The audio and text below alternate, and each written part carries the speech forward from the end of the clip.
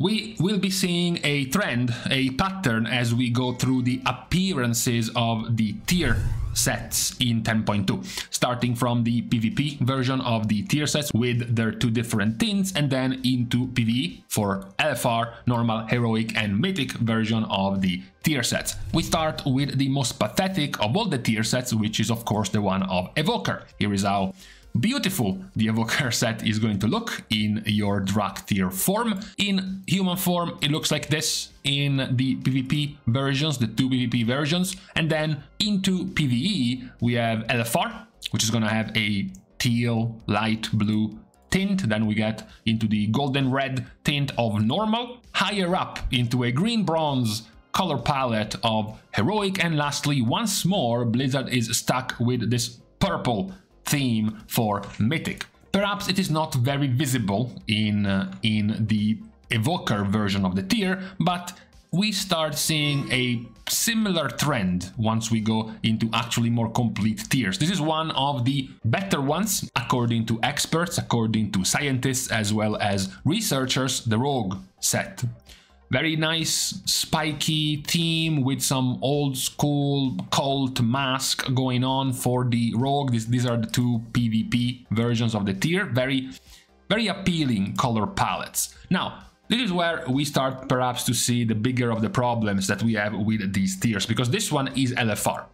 So we have a golden blue set for LFR, followed by the normal version of the raid, silver and orange, into Heroic, we have a darker silver color shade with Fel Green as a color. And lastly, we have Mythic, which is a more traditional steel red color palette. Now, some people might be saying, how is this Mythic when this is LFR? You know, clearly this looks cooler than, than the Mythic version, especially because these, these are more clownish colors. You know, these are too too serious. This looks too much like actual steel on a piece of armor. Meanwhile, this one looks like a, an Arlequin costume. And WoW is pretty known for having pretty nice Arlequin colors in their gear. Some people might like more the realism of the, the mythic version, but there seems to be the trend about these type of um, wacky color palettes in LFR difficulty compared to mythic. This is another one of the fan favorite sets. It is, of course, as you can notice by the skulls and the amount of spikes as well, it's Death Knight.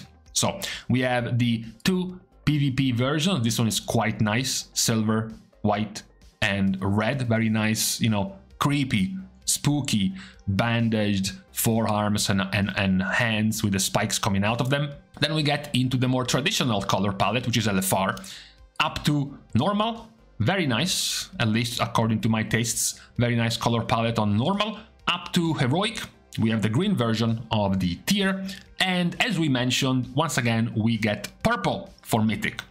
Now, back to personal preference, many players would say, for example, that red is a pretty uh, nice color palette being from Raid Finder compared to Mythic. Perhaps even the green or even the silver-black version are more, more wanted over the Mythic version. Let's see if it's the same for Warrior. This is the more perhaps unique attempts at a tier from Blizzard. This is the LFR version. You know, it's it, it, it's quite different from what we usually see from Warrior, besides looking very thick and platy as usual for Warrior.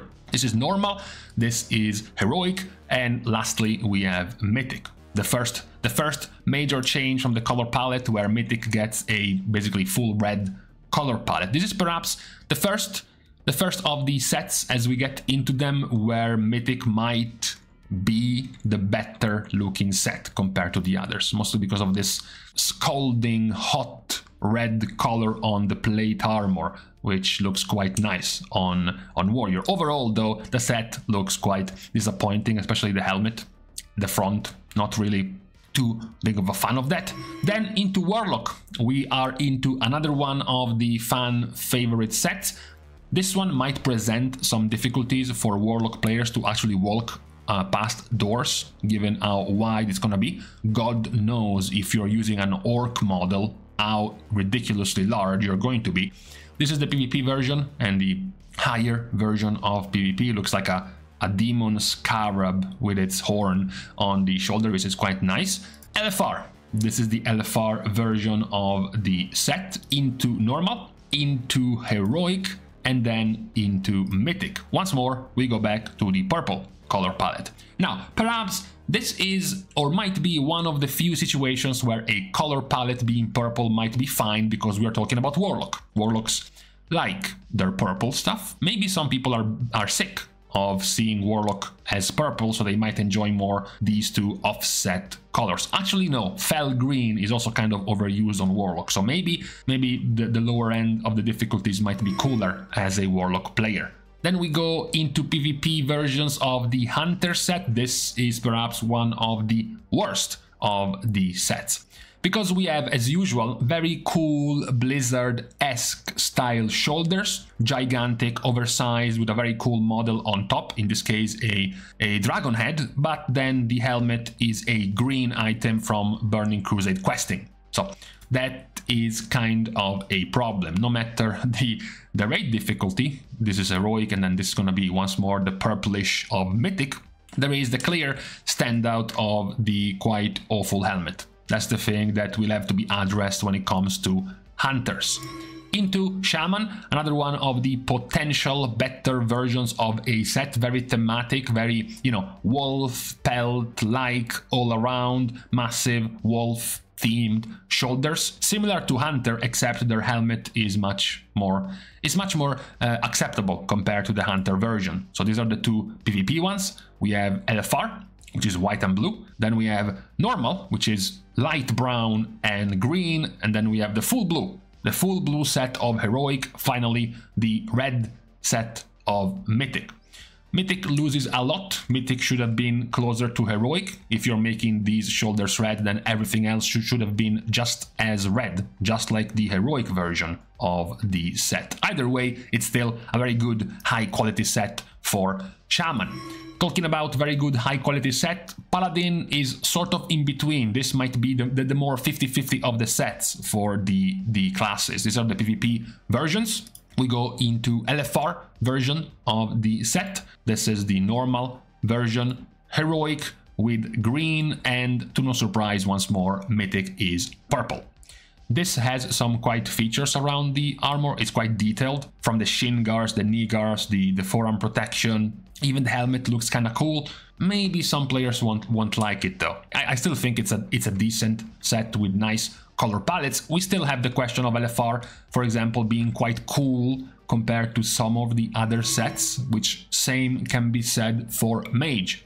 So with this uh, hilarious hat, way oversized, I'm, I'm assuming it's gonna be shrink down uh, before the release, this is LFR into normal, into heroic and then into mythic. Blizzard pulls a 180 here and gives the purple color to heroic and then the blue color to mythic. We are missing particle effects. You know, these things will get colored and animated uh, over the, the live version compared to the picture. I still think this is one of the the weakest versions of a set. Unless you're a fan of memeing around because you have a wizard hat, I think the rest is quite is quite all right at uh, at best. Then we have a I would say I would call it an out of place set. This is the PvP and the higher level PvP reward for Demon Hunter. This is LFR for Demon Hunter. This is normal, typical fel color with, you know, Burning Crusade armor. This is heroic. And then lastly, we have Mythic, which is boohoo purple. I say it's somewhat misplaced because honestly the, the helmet is kind of a bit over the top compared to the rest of the set. I think it's still very thematic and very cool. If you are a very edgy demon hunter, you will definitely like this set. Fits fits right in the theme of demon hunters though. I'm saying that it fits right in because there is something that doesn't fit right in, which is this. You know, you would be hard pressed to guess that this one was actually a druid set.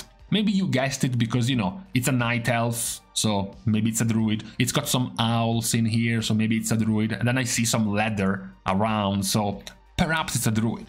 But, you know, if you look at the general look of the tier, it's quite different from what druids used to get. This is LFR with a light blue tint. This is normal, red and black tint, up to heroic with, with shades of green as a color. And lastly, we have mythic. So it's quite nice because you look more like you're made of plate or maybe mail as a druid rather than being a leather set. So it's quite unique compared to what druid used to get when you're talking about tiers. Talking about unique, this is not particularly out of the ordinary for Monk. You can tell this is Monk quite early by just looking at the crane on the shoulders of Monk. Surprise, we have no Monk beads. We have, we have no prayer beads around the neck, so maybe that's a surprise. I think we have one of the classic mistakes as we go up the difficulties into normal, heroic with green, and then mythic. One of the one of the more mm, uh, troubled points of Blizzard tier sets is making the the edges look good, making things like the arm parts, the belts, the shoulders look good, and then all in the middle it's like a pajama. You know, all of this is not like this is not looking good. The sides, the edges, very good. Everything else in the middle looks looks like it could be improved, right? For for monk. Then we have something where we would be hard pressed to say we can find things to improve because this is the best set of the tier the best set of the expansion possibly even. This is priest. We don't have to guess too much when we have to to pick this one as the priest set. We go back to possibly a reminiscent look of the tier 6 from Burning Crusade in the Black Temple whenever we see things like hooded figures with a halo, with some angels and wings. That's usually where we are brought back to, the tier 5, tier 6 of Burning Crusade. These are the two PvP difficulties. I'm sure many players will be seething that this is the Gladiator Elite set of PvP, the classic colors of Priest, white and gold. That will be quite quite annoying for many non-PvP players. Then we have LFR. LFR is a nice callback, as mentioned, to the tier 6 of Priest, same color palette. Normal is another very nice and uh, classy color palette, white, gold, and red. Then we have the gray and uh, green of Heroic. And finally, I'm afraid we have to go back to purple for Mythic. So we are back once more to complaining about the fact that likely the Raid Finder version is still just as good, if not better, than the other difficulties. And we have seen this in multiple tiers. Arguably, Raid Finder can be better than many difficulties, even the Mythic version. Same goes for Druid, if you like this light blue color over yet another purplish tier set. Same goes for Demon Hunter, we have blue instead of going back to your usual fel color or the once more purple color of the mythic set. This seems to have been a recurring theme, you know, Paladin, this one being light blue, over once more purple. Mythic, you have the only red shoulders and a boring color palette for all of the rest compared to the vibrant blue colors of Heroic or the more thematic Kor'kron elite type of theme of the raid finder. The warlock version is the same. The raid finder has some different colors compared to the usual purpleness of of, of warlock. Same goes for dk you have a, an, an out of an out of theme red color silver and red color for dk over going something like once more purple. So there is perhaps a bit of a, a bit of a sadness in seeing that once more we give some very high quality loot, some very high quality sets to LFR difficulty. I'm not I'm not against players doing LFR getting good looking sets. I am against sets from the highest difficulty of the game not being significantly better. Of course, we know they will have better, you know, shinier effects than the lower difficulties, but still, it would have been nicer to see some extra, some extra things on the set just because of coming from the hardest difficulty. We can then finish in style.